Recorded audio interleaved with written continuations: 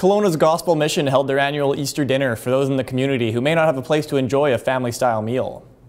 Those who are on the street maybe don't have a good meal to, to enjoy, and so uh, we like to have a family atmosphere and put on a good dinner for them. There's a lot of people, of course, the, our guests that are staying overnight with us, uh, they came out, come out, but there's a lot of people in the city that maybe can't afford a, a meal like this, and they come down, and uh, it's a real family atmosphere. So yeah, we see a lot of familiar faces.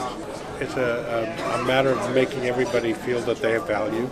Uh, that we're all equal in our society and, and we're all deserving of that fellowship and, and that time together. So I think it's very important.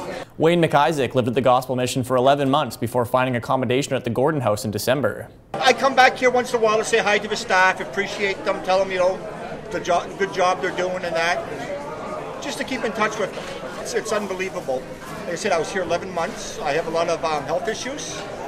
And in the 11 months I was here, I went to the hospital 16 times in an ambulance, and about at least four times they saved my life.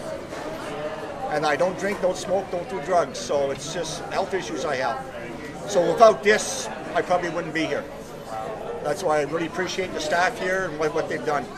Last year, the Gospel Mission served 927 people at their Easter dinner. For Castanet News in Kelowna, I'm Nick Johansson. Communicate with other Castanet readers in our forum section, which can be found in the opinions button in our yellow masthead.